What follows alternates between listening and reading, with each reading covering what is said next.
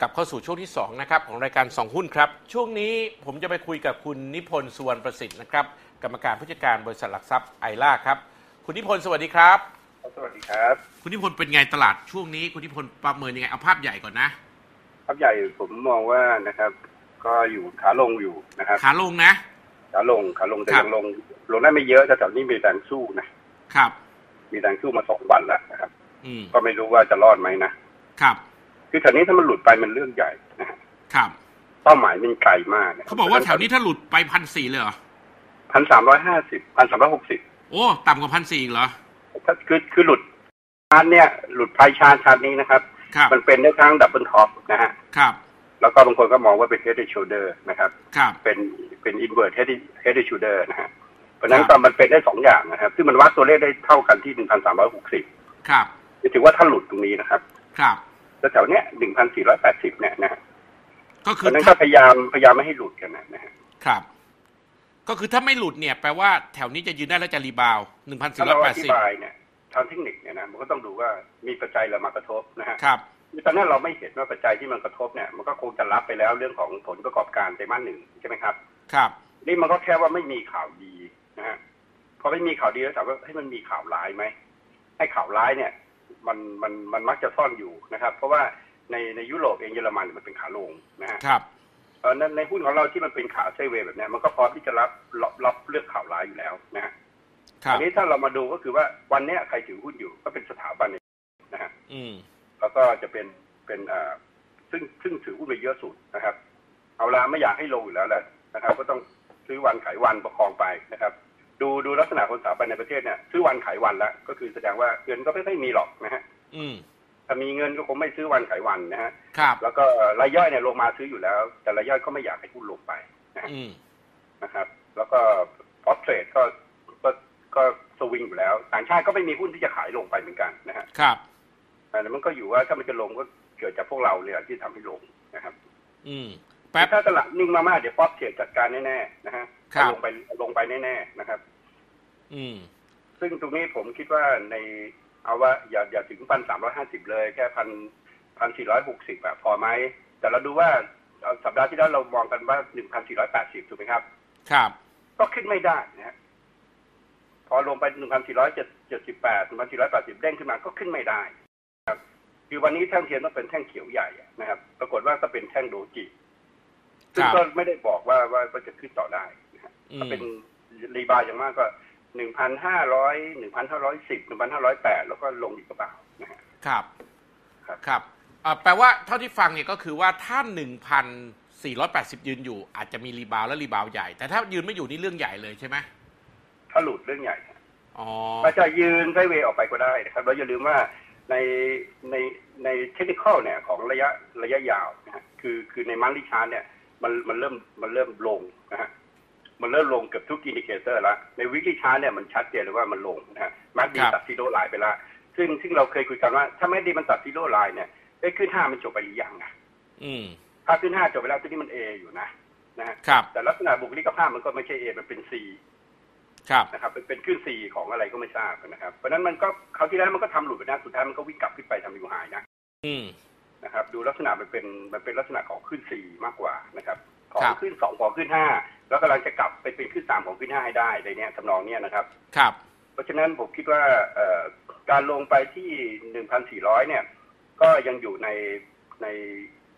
ถ้าลงไปพันสี่ร้อยเลยเนี่ยก็ถือว่าถ้าหลุดตรงนี้ไปนะถือว่าแพทเทิร์นเป็นขาลงแล้วนะครับ แต่ถ้าครับไม่หลุดนะถ้าไม่หลุดตลาดยังเป็นขาขึ้นได้อยู่นะฮะครับจึงมีความพยายามอย่างมากที่หนึ่งสี่แปดศูนย์เนี่ยไม่ให้หลุดนะครับ ครับเอ่อในใน ภาพอย่างนี้เนี่ยมันคุ้มไหมที่เราจะเข้าไปเล่นแถวๆนี้คุณนิพนธ์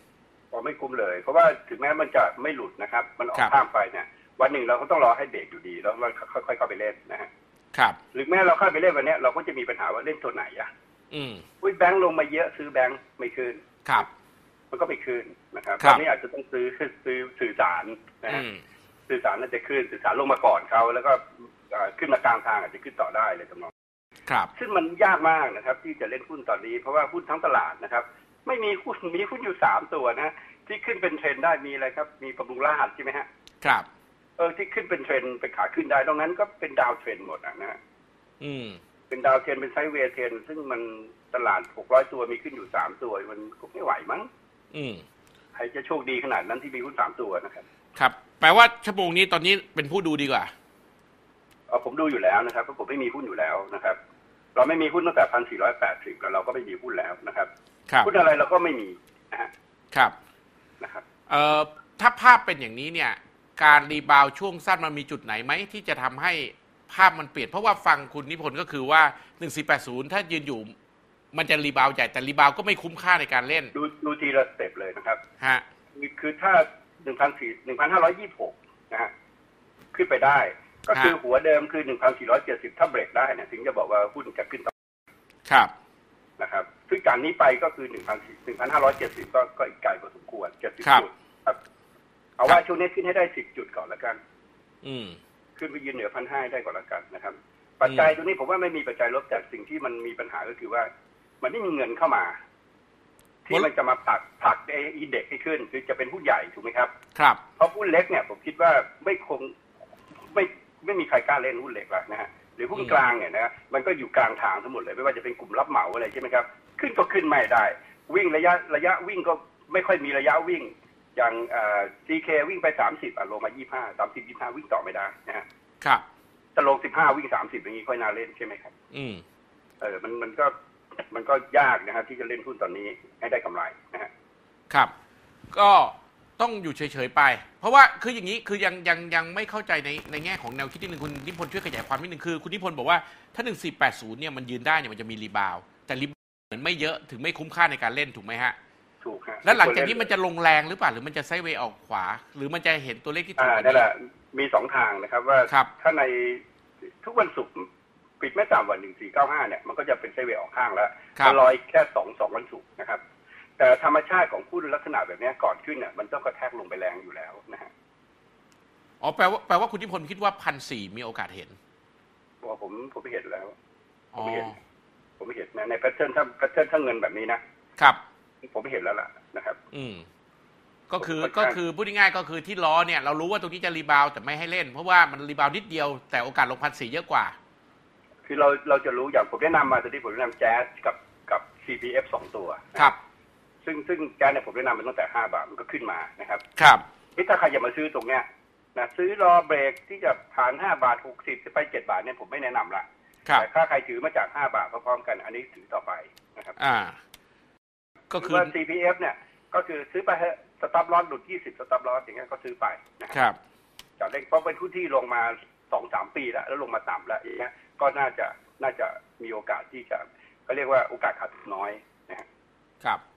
นะครับต้องเลือกเป็นรายตัวนะครับ อืมถ้าถ้าลูกตัวใหม่ให้พูดถึงสองตัวนี้มีตัวใหม่ตัวไหนไหมฮะ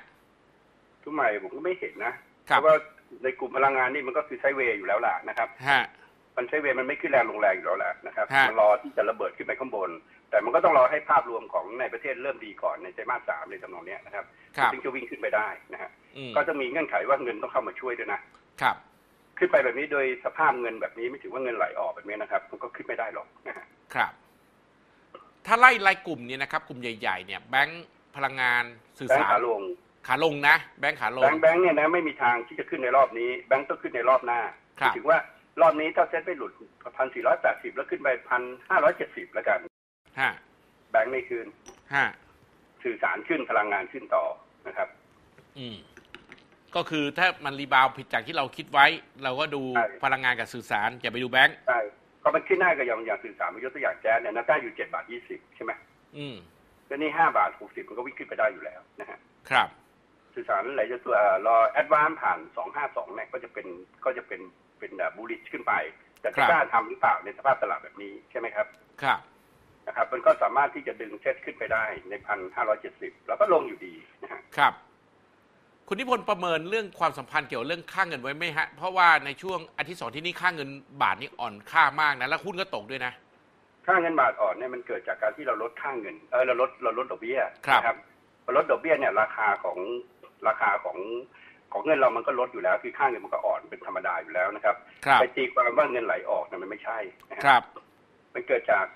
อาพอคุณลดดอกเบี้ยนะครับ คุณลดคุณลดครั้งที่สองเนี่ย แล้วตอนนี้คุณอยู่ที่หนึ่งจุดห้าใช่ไหมครับ ครับเขาบอกว่าคุณก็ลดได้อีกสี่ห้าครั้งไงครับ เพราะฉะนั้นคนที่ซื้อตราคนที่คนที่เขาซื้อเอ่อเขาเขาถือตราสารนี่อยู่ว่าเอางั้นเขาขายก่อนดีกว่าถูกไหมที่ครับสำคัญคือเขากังวลเรื่องอัตราแลกเปลี่ยนที่เขาขาดทุนเรื่องอัตราแลกเปลี่ยนคือเงินต่างประเทศที่เข้ามาในบ้านเราเนี่ย ประโยชน์แรกที่เขาต้องการหาคือจากส่วนต่างของอัตราแลกเปลี่ยน ครับ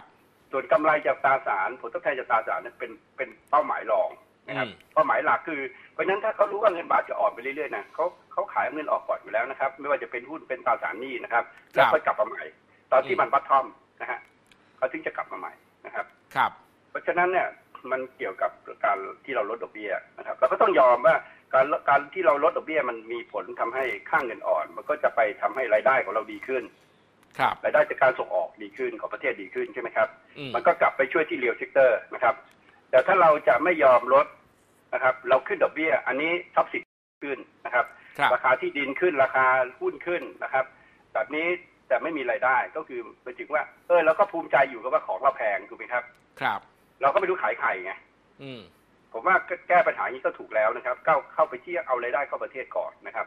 ครับทำทุกวิถีทางที่จะให้การส่งออกเนี่ย ให้ให้ดุลบัญชีดุลพัฒน์มันดีขึ้นนะครับอืมให้การส่งออกมันดีขึ้นเนี่ย อย่าอย่าเพิ่งไปห่วงนะครับ ว่าจะทำให้ราคาทรัพย์สินราคาตกนะครับครับหรือว่าจะทำให้หุ้นตกอย่าไปกังวลนะครับหุ้นเนี่ยมันตกไปแค่ไหนก็แล้วแต่ ถ้ามีอินคัมเข้ามาในประเทศเนี่ยเดี๋ยวราคาหุ้นจะวิ่งขึ้นไปเองนะครับอืมครับเนี่ยการขึ้นไปโดยที่มี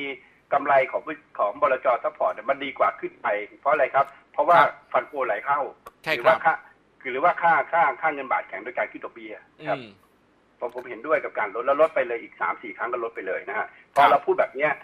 ฝรั่งเห็นท่าแล้วขายเอาเงินออกก่อนนะครับ เดี๋ยวเข้ามาใหม่ตอนสามหกดีกว่าไหมครับ อืม ก็ได้ออ34กำไรค่าเงินออกออกออกเข้าสามหกใช่ไหมคครัรับบเขาไม่มีวัตถุประสงค์อย่างอื่นนะครับ ผมสังเกตทุกครั้งที่ต่างชาติเข้ามาในบ้านเรานะครับ เล่นหุ้นขาดทุนทุกรอบ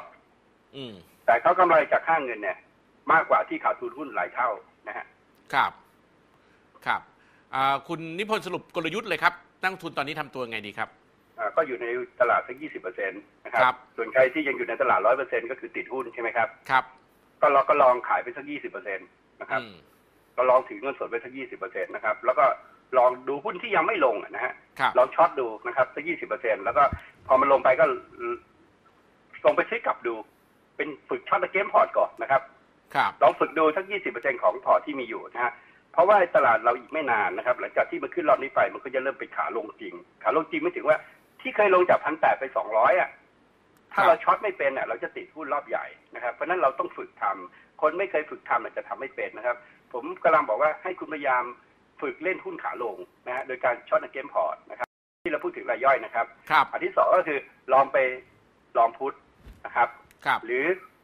short stock futures single stock futures หรือลอง short TFEX ดู เล่นน้อยๆหาเล่นน้อยๆก่อนหนึ่งสัญญาสองสัญญานะครับ ให้มันกล้าทำนะฮะเพ ราะว่าอีกไม่นานเราจะต้องเผชิญกับการลงของตลาดหุ้นนะครับ ครับ ซึ่งเราจะได้ประโยชน์จากการหุ้นขาลงเพราะฉะนั้นเราควรจะฝึก short against port นะครับ ครับ ฝึกไปไป short single stock นะครับ ฝึกเล่น TFEX นะครับอืมฝึกไป long put นะฮะต้องฝึกขาลงนะครับ ไม่ฝึกอะถึงเวลางานใหญ่มันมาแล้วมันทำไม่เป็นนะฮะครับมันเป็นเรื่องที่ยากกว่าการเล่นหุ้นขาขึ้นเนี่ยสิบเท่า อืม นะครับไม่ใช่ว่ารู้ว่าลงแล้วจะไป short ไม่ใช่ มันมีเรื่องของเลเวลเลมีเรื่องของเอ่อ margin อะไรที่วางและการถูก force sell อะไรมันมีเยอะแยะไปหมดเลยนะครับครับเพราะฉะนั้นเนี่ยต้องฝึกตั้งแต่ตอนนี้คือฝึก short against port นะครับครับครับอ่าเดี๋ยวลองดูนะครับ คุณนิพนธ์ครับครับผมสัปดาห์นี้ขอบคุณมากครับ คุณนิพนธ์ครับผมครับเจ้าสวัสดีครับครับนิพนธ์สุวรรณประสิทธิ์ครับบริษัทหลักทรัพย์ไอล่าครับ